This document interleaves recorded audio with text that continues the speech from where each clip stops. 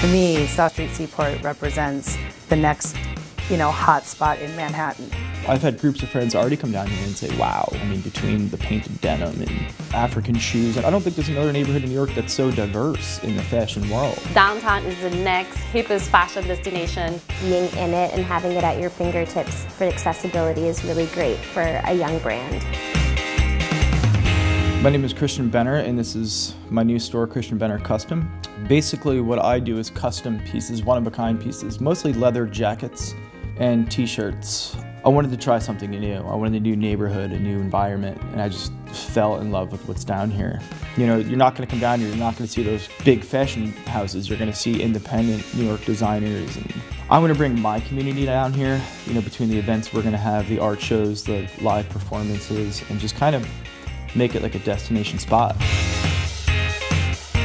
Erin Feniger with the Rialto Jean Project. We sell vintage denim, hand painted, one-of-a-kind pieces, and a portion of every sale goes to support art therapy programs at children's hospitals.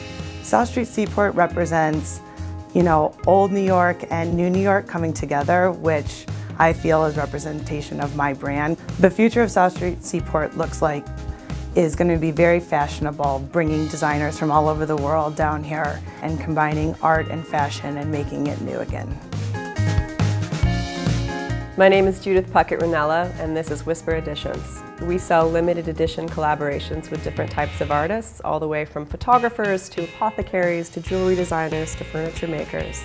I think that the types of people that are moving down to this area have a thirst for real New York. They're thirsty for design, fashion, food. This area has the potential to become the ultimate destination for all three of those things. Hi, I'm Samantha and this is Brother Vellies, a shoe store that hand makes shoes in Africa. The South Street Seaport is a very quirky area and that's kind of like our brand. There's the ice skating rink, so you always have people that are ice skating.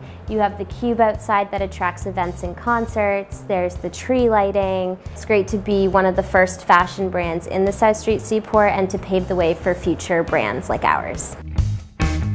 Hi, my name is Monica Prongsavan and we're here at Modabox located at 193 Front Street in the South Street Seaport. Modabox is a premier online styling and shopping service for women. We are here downtown serving to other elite clients and corporate professionals. In the last couple years, fashion changed in the Seaport. After Sandy, a lot of new designers and up-and-comers have moved down here. Now with uh, Pier 17 and Fulton Market opening up and all the new brands that just moved downtown, we are bringing fashion back. It's gonna be the next big thing in fashion.